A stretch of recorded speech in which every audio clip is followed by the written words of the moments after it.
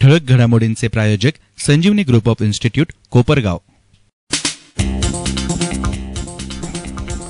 बंदुकीतून गोळ्या घालून पतीचा जीव घेणाऱ्या पत्नीला तब्बल सात वर्षांनंतर अटक. शेवगावच्या शास्त्रीनगर भागात रामजी साहेबराव सातपुतेंची दोन हजार तेरा साली झाली होती हत्या. सबळ पुराव्यानुसार आरोपी पत्नी शांताबाई रामचंद्र सातपुतेला अटक. भाजपकडून ज्येष्ठ समाजसेवक अण्णा हजारेंची मनधरणी.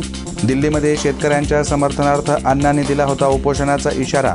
पक्षश्रेष्ठींच्या आदेशानं माजी मंत्री गिरीश महाजनांनी घेतली अण्णांची भेट. या वयात अण्णांनी उपोषण न करण्याचं आवाहन. तर प्रधानमंत्री नरेंद्र मोदी मागण्यांवर तोडगा काढतील महाजनांचा अण्णांना विश्वास. अवैध गावठी कट्टे विकणाऱ्या टोळीचा नाशिक पोलिसांकडून पर्दाफाश.